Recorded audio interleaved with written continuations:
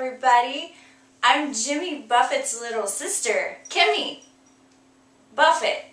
and I have this song for you that I think that you'll like.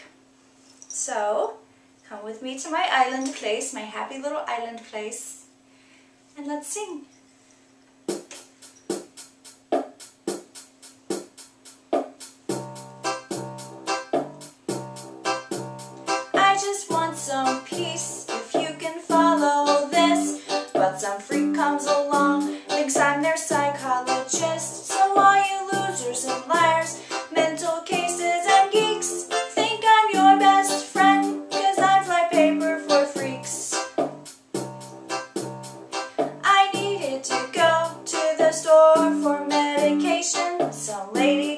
Up about her anal irritation.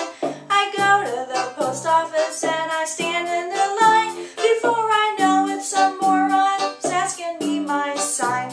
I just want some peace if you can follow this. But some freak comes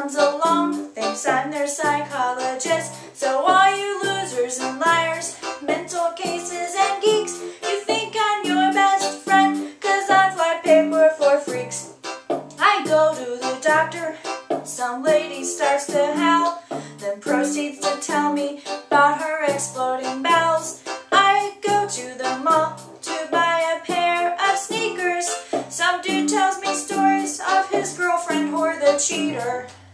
At the local restaurant, waitress claims they don't pay her. Then she tells me